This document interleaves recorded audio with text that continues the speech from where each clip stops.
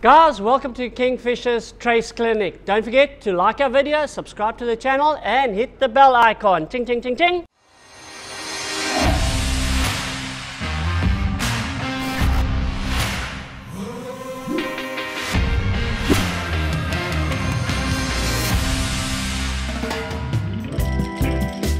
Guys, I'm going to be doing the high density foam ones, basically, our little red ones. Um, now we've got two different sizes. This is a very tight one, ideal for chokka blob baits.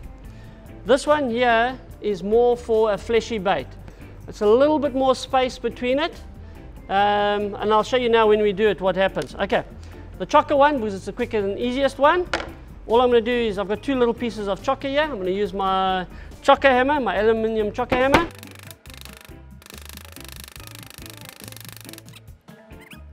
It's very thin, very fine chokka. I've hit both sides of the actual chokka. All I'm going to do, and I haven't put a hook on yet, but all you do is you just wrap it around the actual foam ball like that. You then take Kingfisher's thin latex cotton. This is it here and you just wrap it. This is ideal for when you want to throw long distance. Great for hammerhead, stuff like that, that you're going to float up quite high in the water column. So that's pretty much the first piece finished. I'll then take in a smaller piece and I'm going to do exactly the same. Turning it over. Okay, so there's the second piece. And just Again, just wrap it around nicely. The second piece you don't have to cotton up too much. And the reason being is it's just there more for scent than anything else. So there we go, that one's done. There is a lovely chokka bait that all we're going to do is stick our hook through.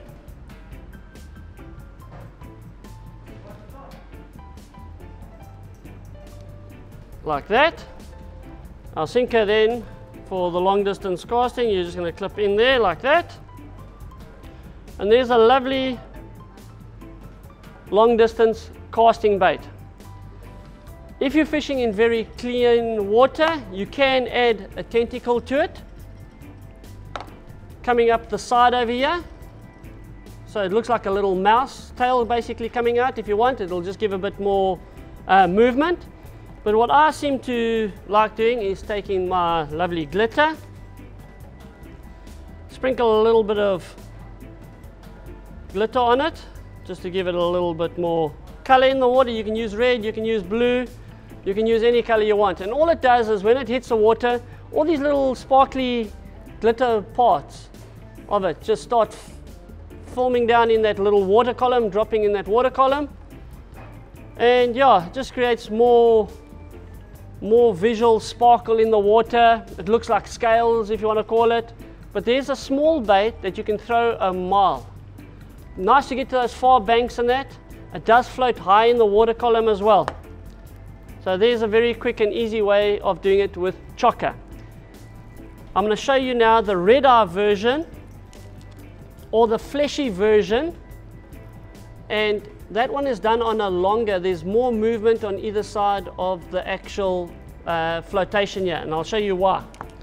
As we do it, I'm just going to take this red eye here. I'm going to take some thin cutlets, not making them very thick. The thinner you can cut it, the easier it is for you to actually mold it around the actual bait. Okay, so there we go. Just to do that. That. Okay, so there we go. I'm to take the thin red eye, lay it next to it, the center part of the actual um, flotation, and this, like I say, is for floating up high in the water column. And again, nice for hammerheads, grey sharks, um, fishing in very deep water. Thin latex cotton always works the best for these kind of uh, fleshy baits. Just going to cut off that part there. There we go. There we go. Nice little bait. Going to go on the opposite side, do exactly the same thing. There we go.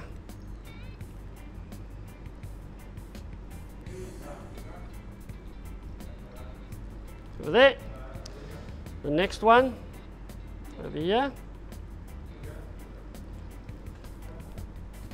I'm exposing as much flesh as possible when doing this bait. And last but not least, where am I missing? I'm missing some over here. Yeah, let me put it that side. Now, grab your hook, stick your hook through that loop over there, come around, and you've got to cotton this up. Over the hook, around the hook, over the hook, over the hook, down, around, just so that the dangle doesn't come off. And to finish it off, you just do half hitch there, another half hitch there, another one there, pull it together. And there is a lovely, fleshy dangle bait that you can throw a country mile. There's two of them. Okay. So simple as that, guys. Go out there, make your own. Using our nylon dangle and our, our braid dangle. I'm going to show you two, two ways of doing it. These are exactly the same. I'm just going to use one of them. Okay, again, works very well with cutlets. I'm going to use, ah, let's use a nylon one. Okay, so all we're going to do is cut a very thick piece. This is important. And your bait needs to be semi-frozen for this. So you cut one thick piece, cut another thick piece, one thin piece, and another thin piece. There we go. Okay, we're going to take our um, dangle with our solid ring on. Take a hook. Okay, let's just take that hook there. We then take, once we've got our dangle on, remember this one has not got any heat shrink on it, so it moves around very freely. We're going to take our red eye that I'm using, stick it through the flesh of the actual bait. Okay. We're then to take our thin latex cotton and just tie that on all the way through. Over there, there we go. Take our next thick piece on the opposite side. There we go. We're then going to take our thin, two thinner pieces over here.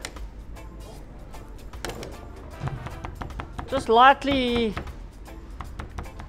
hit them, just to soften them up a little bit with our uh, aluminium chokka hammer. And that goes onto the opposite side like that. Makes a lovely thin bait, a sausage bait if you want to call it that exposes a lot of the flesh on either side. So you get a maximum amount of smell and flavor out as quickly as possible. It doesn't look the best.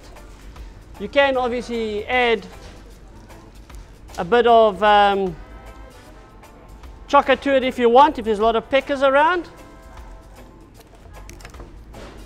But as you see here, it gets a lot of smell out very, very quickly. Um, if you do have a problem with peckers, take a little bit of um, chokka. Take a bit of chokka. Just beat it ever so lightly on both sides. And you can either just add it to one side or you can wrap it around. It doesn't really make a difference. It's up to you as an individual how you want to do it, what you prefer. I'll just show you here quickly. Okay, so all we've done is just wrap some chokka around. You can make it thicker, you can make it thinner. depending on what you require. But that's quick and easy, that's how you do it. There we go guys, very simple way of doing a um, nylon dacron, uh, a nylon dangle. There we go, easy bait. I'm going to be doing our Dacron one, which is very soft and supple. You can use it with a variety of baits. Um, I'm just going to show you how you do it with a head. It's just so quick and easy. You take your head, cut it off, cut it at an angle like that. If you want, you can use cutlets where you just cut the cutlets down, but I'm just going to do a head. Take it, stick it through the back here. And again, it runs down the backbone. If you go down the backbone part of it, you'll always come out at the mouth. Stick it through the Dacron puller, pull it back through, there we go. Your hook will go in over there. Your Dacron's there. And we just go whoa, whoa, whoa, all the way down shut the mackerel's mouth up. Cheers, bar. Thank you very much for coming. There we go. Quick and easy. Good to go. Just another version of a, a dangle that you can use, guys. We're going to be using a soft Dacron with soft foam. These are shad bungs that I've actually softened up. It floats extremely high in the water. It works extremely well for finicky fish. Um, I'm just going to use a squid, normal little squid, nothing fancy about it. Cut him open. Again, I'm going to make a, a bait that you can throw quite far. So I'm going to take off the skin here. Okay, there we go. All I'm going to do is take my chokka hammer and lightly beat it to expose a lot of the actual smell. Using our aluminium chokka hammer, I'm using the small teeth on it. I left the ink sac there, so you can see the ink sac is now starting to go through. Okay, best thing to do is to take it and just to measure how big you actually want it to be. So we'll make it there and over there. So I'm going to take that apart away. We're then going to take our head of our chokka. Leave that part there out.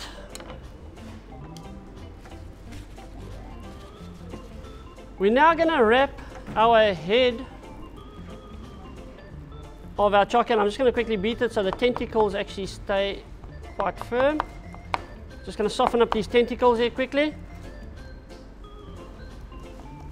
Okay. The head always faces down. So in other words, away from your ring. So when you throw it, it actually, yeah, just more aerodynamic coming out this way. If you understand, the tentacles are behind, you're throwing that way.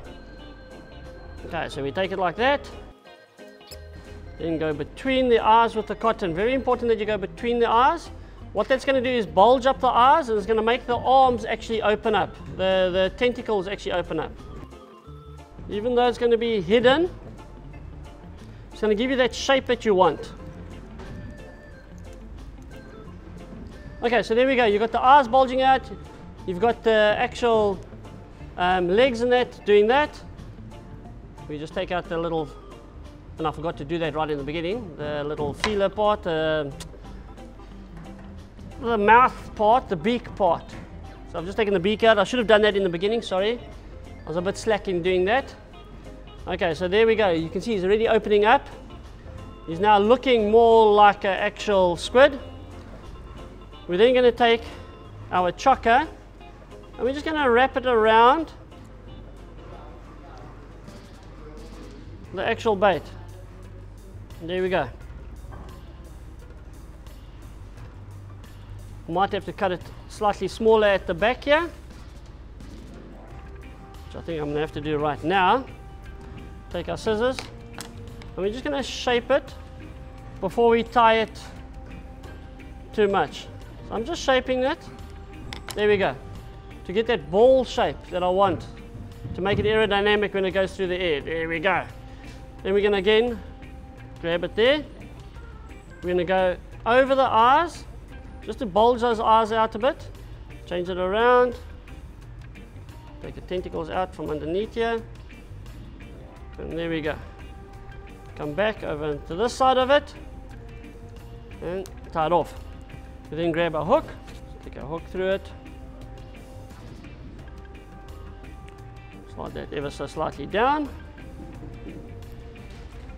And there we go. There's our little squid bait ready for throwing. Obviously we're going to clip it on. We're going to throw it and it's going to go through the air. Very aerodynamic. It looks like a little squid. And the feelers are out, the tentacles are out. When you throw it, it's going to go, that's going to close up. So very wind and aerodynamic when it goes through the air. But that's basically what it looks like. When it hits the water, it's going to float up like that. And then you pull it down, up, down. Obviously, it's going to look like a little fish coming, a uh, little squid coming up, going down, going up, coming down. So there we go. That's what it looks like, guys. Very aerodynamic. It's going to float high up in the water column as well.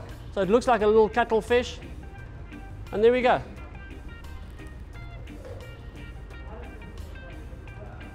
It's as easy as that. There's nothing difficult about these baits.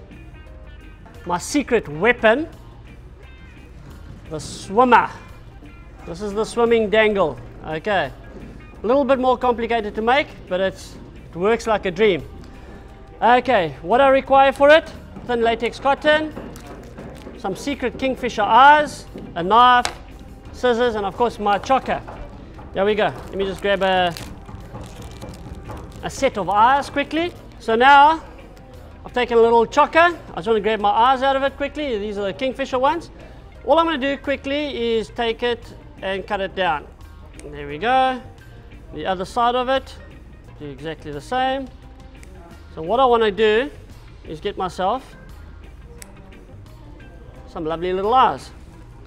You can leave them on if you want. Hell, you know what? I'm going to do it. I'm just going to leave it on here for you, just to show you how it does work. Let's neaten it up a little bit here. The other side. So I've got two sets of eyes. I'm going to take some chokka over here. I'm going to cut long tentacle out of this chokka bait. There we go. One long tentacle. Like so. Just cut it to size. It's a little bit big. There we go. I'm now going to take a thick piece of chokka like that so nice thick juicy piece of chokka. Put it with the skin side facing up. Our thick part of our chokka hammer, and it's going to be noisy. I'm just going to soften that part of it. I'm then turning it over and taking the thin side, and I'm going to hit it until it's almost, yeah, like I always say, like snot. Okay, so as simple as that. Now, just going to measure the size that I'm looking for. And that's pretty much it there. So two pieces like that should do it. Okay, there we go. So all I did was cut two pieces out of that one piece that I had there. I'm then going to take the tentacle part and again with the thick side just lightly beat it. Our cotton. take that stick it over the top. Now, what we do is that's going to go to the sinker. So when you throw, the arm always needs to be facing down. So I'm going to have the arm like that. I'm then going to take our cotton over the top and I tie this down quite tightly. Okay, so that's nice and tight and firm. I'm then going to take one piece of my chokka and just wrap it around. and I'm wrapping it as close to this lip part as I can. And again, I'm using quite a bit of cotton for this. The next piece, which is the back part of it, again, I'm just wrapping it around. And again, also not too much. I'm coming to the end part here. And I'm just trying to wrap it down.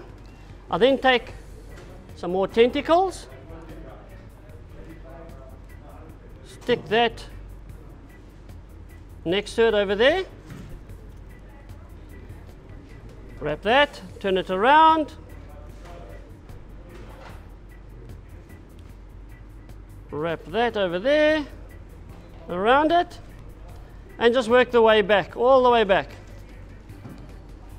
to the end, and just start off. Take our scissors, and you don't want it, your sinker to get caught up in that leftover chocolate that's there. You just neaten it up a little bit. There we go. I'll then take my hook, insert it through there and through the tentacle part of the actual leg. Okay, so that's pretty much what it looks like. To give it a little bit more realism, my trusty glitter. Sprinkle a little bit of glitter over the top of it. So when it hits the water, those little sparkles come down. And of course, all the fish will come and look for it and see what's going on. So here we go. Take our sinker. We can clip the bait. And of course, that bait's going to throw a country mile. Whoops. Comes loose. This then floats up in the water column and as you're shaking this will come down because of that lip and back up. Goes down because of the lip, comes back up. Down because of the lip, comes back up. It pretty much looks like a little squid going down to actually look at something, inquisitive. Also in the current, when this is floating like that, in the current, this lip part here is moving the bait the whole time. So that lip basically moves the whole time in the actual water in the current. So it's doing this the whole time when there's current, especially near river mouths. Works it very, very, very well, that lip. And it's just moving, moving, moving. You pull it, it comes down. As you pull it, it comes down, it moves. So pretty much a living lip, if you want to call it that. There it is upside down, so you can see it. There's the lip. And as you pull it, it's going to move this bait from side to side. There we go, guys. It's as simple as that in the water. That's what it does. Go out there and make them. They are easy to make.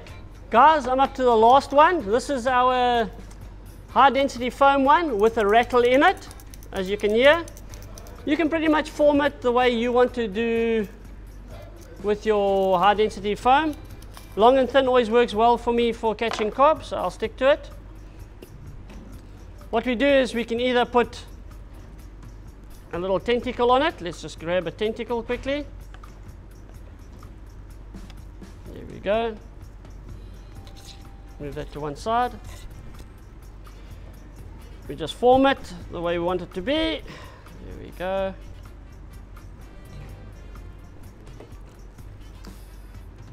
Cut some tentacles into it. There we go. Chokka hammer just to lightly beat it so it doesn't go stiff. And also for smell purposes, we, we beat our chokka. Turn it over. The back part of it, again, I'm using it the big side of it. So I'm not actually really squashing this bait. okay. We're going to take our dangle, stick it over the top like that. We're going to take our thin latex cotton, we're going to bind it up nice and tightly. Okay, there we go. We'll then take a nice thick piece of chokka and we're going to smash that chokka. Turn it over and use the thin side. Just have a look at it. No, still not thin enough. Done. Okay. We then take this one. It's paper thin. We take it and we just wrap it around our chokka.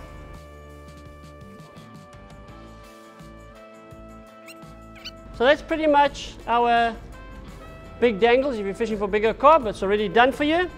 We then take our hook.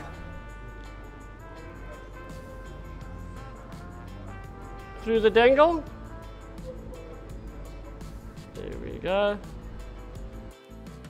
And it's on. There we go. So there's our chokka sitting nicely there. We then take a little bit of glitter for daytime fishing. You can use red, you can use gold, you can use any color you want, it's up to you. When it hits the water, obviously that little bit of uh, glitter is going to come off of it. Create a lot of shine in the water for the clean water fishing. Okay, and there we go. Quick, easy as that, guys. Long aerodynamic bait, so when, it's, when you throw it, these little tentacles are going to form back like that. It's to go, hit the water. It's now going to float up in the water column. You've got the rattle when you're pulling it. There we go. You can hear the rattle in it, which is amplified by the high density foam. If you use the soft foam, it doesn't work that well. But there we go. So there's the rattle making the noise every time you pull it and shake it. So there's noise, there's color, there's smell. All the senses you're looking for when fishing for cob, kingfish, any of your predator fish. There we go. Quick and easy as that. The tentacles all move, so there's a lot of movement in it. And there we go. Guys, go out there, make your own dangles, or come to the Kingfisher, can buy your own saltwater sports traces. They are available from all leading tackle uh, stores countrywide. I'm just going to show you them again. There they are there. I've used them in about four or five different baits. That's them, guys. Go out there, go and buy them. They're quick and easy, or make your own. We sell all the stuff that you require here at the Kingfisher to make your own dangles. Enjoy, guys. Go out there. It's quick, it's easy. Enjoy.